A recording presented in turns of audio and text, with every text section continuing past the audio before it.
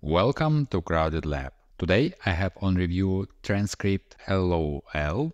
It is a tool with which you can repurpose your video content. Basically, you upload your videos or use videos from YouTube, and then it will generate summary, Twitter posts, LinkedIn posts, and even blog posts. We'll see how it works. So what are the features we have? I can see that there is an option to generate quizzes for educational content, newsletters, but anyway, we'll see all of that content.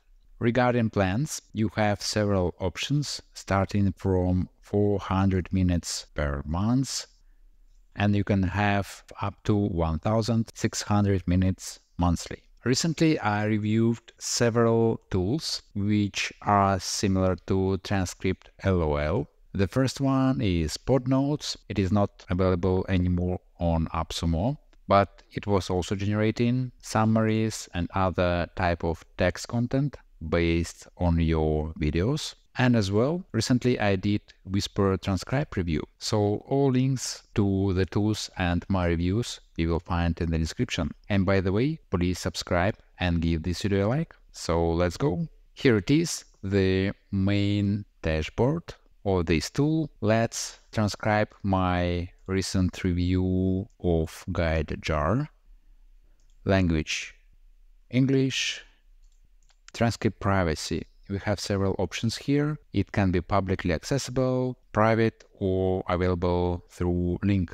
Let's choose that one. Regarding features to generate, let's select all that we can see. And let's transcribe.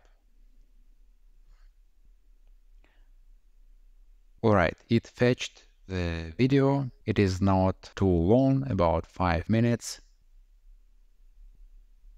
And I can see that the process just started.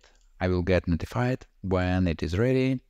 One feature that other similar tools were providing was adding your custom type of content. For example, for Whisper Transcribe, I also saved the prompt to generate YouTube short script so I don't see custom prompts here, but maybe it is there. We'll check. Okay, I can see it is completed, but it is not correct. It says it is about Galaxy uh, S6, so let's delete that. Alright, so I have deleted all of my previous transcripts which were not working. So let's create new transcript. Here is link to another video let it be unlisted again and select all of the content and let's transcribe.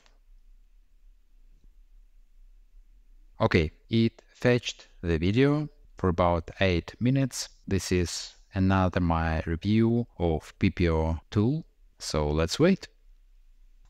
Okay, now we are getting needed content. Let's start with summary. Okay, nice summary topics. Not sure where it can be used, but anyway, here it is. Moving next to transcript and just looking through some of its parts, I can see it is correct and in a good quality. Yeah. Some other tools were providing feature to set specific transcription for specific words. For example, here I would like it to be like this. So moving next to chapters. So it is intended to be used as YouTube chapters or Spotify podcast. Those are mostly correct, I think, but I'm not sure how can I edit those.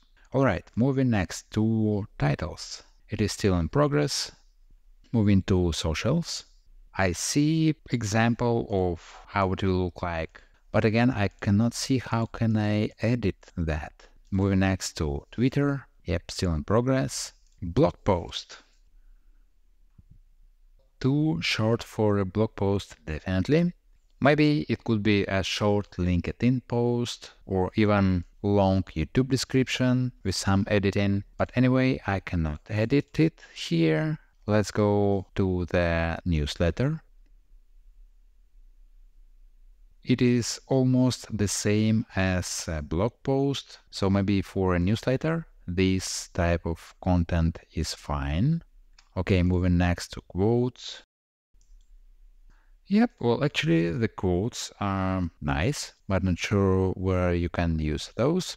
All right, quizzes. It is nice that it can generate quizzes. We don't need quizzes for review videos, but anyway, you can have those, but again, cannot edit that. And ask ChatGPT, I think this is specifically about this video. Like I've just asked what is this video about. I can see sources, that's good. When I click here, I probably will get to the, no, it didn't open on the sixth minute, but I've got the idea. Okay, let's check some other type of content that was not previously available, titles. Again, okay tool, but I cannot edit that. So we have social step and then I believe Twitter is similar. Yeah, could be a variation of a Twitter thread. What I like here is a preview. All right, so I think that's it. Let's try unlist the content and make it private. Maybe this way I can edit the content. Summary.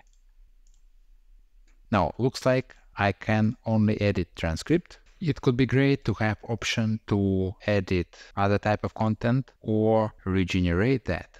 Alright, so let's move to the conclusion. I've also looked through positive reviews because it has a good amount of those and I saw people praising the transcription functionality. So I think it is the most strong part of this tool. So specifically this part, transcript, you can edit that. It could be nice if you could export that in some subtitles format. But anyway, the accuracy seems to be fine here and you can edit that. So in summary, if you need just a transcription tool, maybe you can consider this one because in my opinion, other parts of this tool like summary, topics, tweets, blog posts are not in so high quality and maybe the developers will improve this tool. Also for this kind of tool, I think you need to have option to regenerate parts of the content, like regenerate tweets. You need to be able to edit your generated content inside the tool, like edit some titles generated. And also what I saw in other similar tools, it could be nice to have ability to add your custom prompt. So for each video you load, you can get not only tweets and blog posts and predefined type of content, but any content that you can define in a ChatGPT prompt.